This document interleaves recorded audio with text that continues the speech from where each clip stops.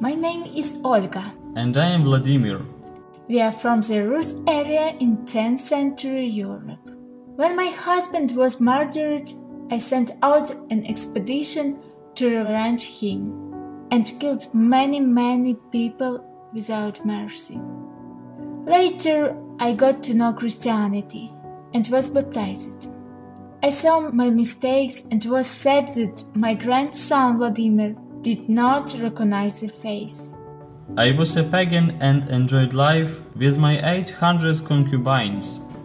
By killing my half brother and raping my sister in law in Pathing, I became ruler of the immense territory of the Rus people in today's Ukraine, Belarus, and Russia.